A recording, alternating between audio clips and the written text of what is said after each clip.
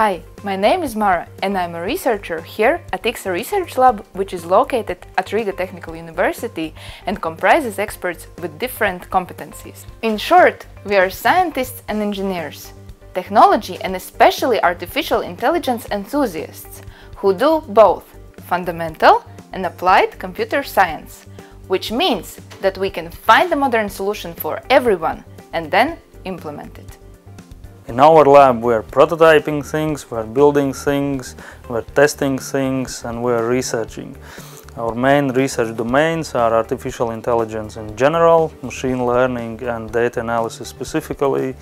We are covering uh, areas like big and small data analysis, sensors and sensor networks and affective computing. Besides our scientific competencies, we also produce prototypes and custom designs for various hardware and software solutions. Our environment has facilitated both innovation and product development. As a result, several spin-offs have popped out of IKSA Research Lab.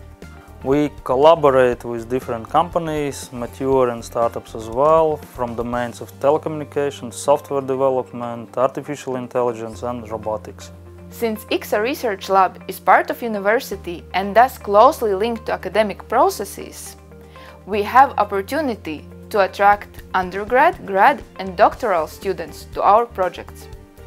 Now you know who we are and what we do. Contact us and we will be happy to collaborate.